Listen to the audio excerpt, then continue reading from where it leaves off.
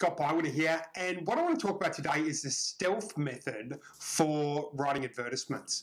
And the way this works is one of the best things that you can do as part of the research process when you're writing an ad or a sales piece or a content marketing piece is to go through and look at your competitors' work. So, what I would encourage you to do is to really go out there and look at you know which competitors you've got who are creating really good copy. Or it may not even be competitors.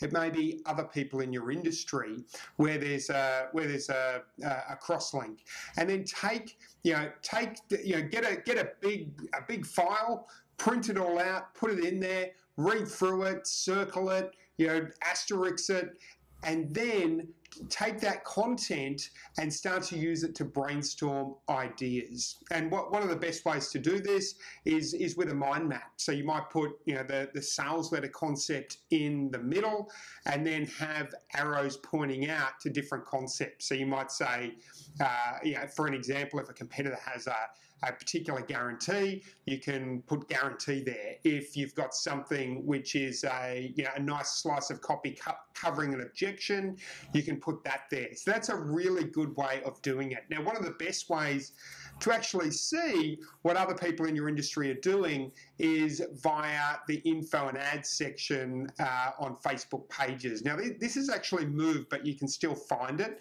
Um, if you need if you need help finding it, send me a DM and I'll I'll I'll shoot you through a, a YouTube video which will show you how to do it. Um, but what you can actually see is you can see all the Facebook ads that other people in your industry are currently running, and then you can use that for inspiration and ideas. Now, the important thing here, and it's critical, is do not copy.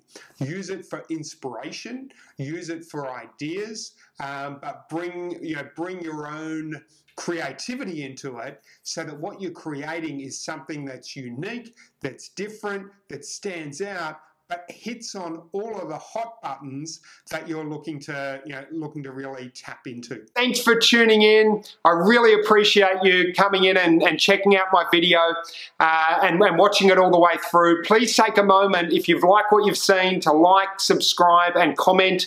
Uh, I read every comment and appreciate you giving your attention uh, to my videos. And uh, yeah, thanks for tuning in. Bye for now.